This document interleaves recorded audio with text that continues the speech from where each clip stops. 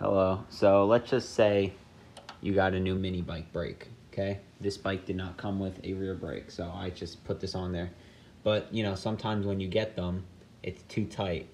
Um, it's extremely tight on the rotor, and you cannot you cannot move the mini bike. It's completely solid, and it was hard to even put on here. So this is real quick how you can adjust it. Take on this bike, it's a 5 16ths. Let's just loosen it a little bit.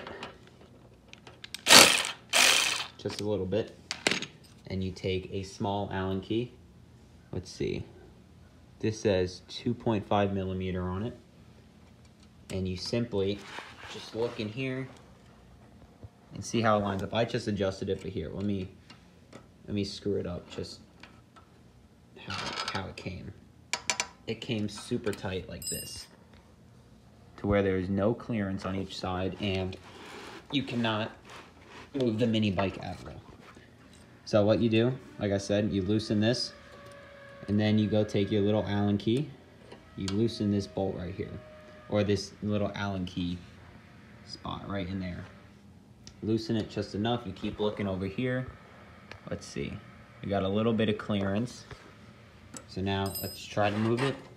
It moves freely. Here we go. And then you switch this back to tighten. Tighten this back up.